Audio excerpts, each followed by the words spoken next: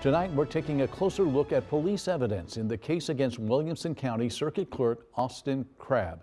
Last Thursday, Crabb was taken into custody and charged with driving under the influence.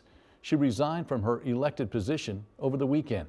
News 3's Denise Turner is digging deeper tonight. Denise, you filed a Freedom of Information Act request to get the police report? Hmm.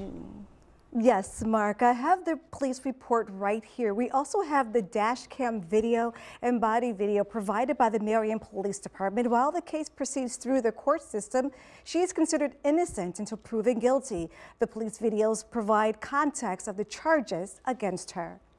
It all began on West Main Street in Marion just after midnight on Thursday morning. Marion police pulls over the newly elected Williamson County Circuit Clerk Austin Crabb. Driving down the road, you keep going back and forth, crossing the lines. Then when you made your turn up here, first off, you, you drove over the white line. You almost hit the curb, so I was concerned about that. Then the officer asked Crabb how much she had to drink, and she said a beverage.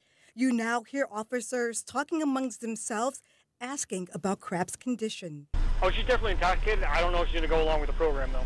Crabb makes clear her role in Williamson County the first thing she threw out at me was, I'm in Williamson County Circuit Clerk.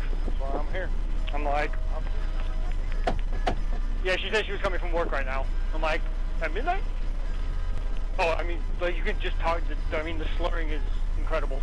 Officers asked Crabb to step out of her vehicle to perform a sobriety test. So what are we doing right now? We're going to be doing field sobriety tests on you to make sure you're okay doing driving. No. Put your hands back here in the rescue while in the back of the squad car, she asked for help. Hey Siri, call Vernon Zanotti. This back there, what? like all over the center console area there. Never in my life. You are pathetic. Crabb was driven to the police station where she was booked.